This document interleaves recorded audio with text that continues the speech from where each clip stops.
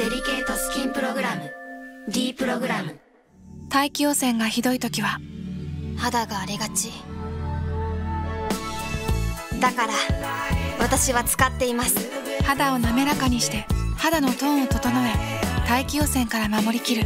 一本でバリアも綺麗もアレルディフェンスエッセンス。時々敏感肌からなりたい肌へ。